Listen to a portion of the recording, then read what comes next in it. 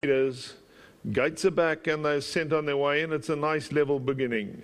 Quite a scramble for the early lead. Navasha's pushing forward, rocking on the moon, going around them all on the far side. He's up to look for the lead.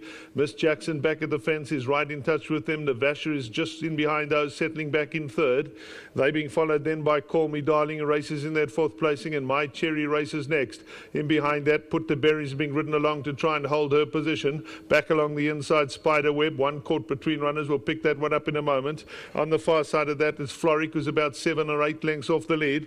Brinkley was the one hidden on the far side, and she's racing nine lengths off them. St Elmo's Fire races just in behind that. Elusive Rose is back at the fence and a dozen lengths off this leader.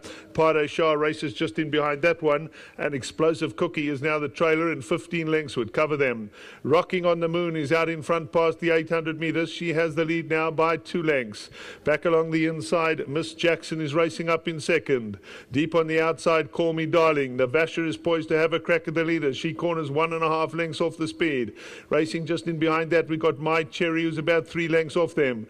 Towards the outside, Floric in the green is also starting to make progress as they start the dash for home now with 400 metres left to go. Rocking on the Moon has won the battle for the lead on the outside. Navasha has switched in and sets out after her. My Cherry is trying to run on in behind that. The rest have got some running to do. It's Rocking on the Moon who's out in front. Navasha is trying all she can to wear her down along the inside, but Rocking on the Moon is showing no signs of stopping. She's clear as they come to the final 100. Navasha is now coming strongly in the closing stages, but Rocking on the Moon stays on to win from Navasha. St Elmo's Fire came on behind.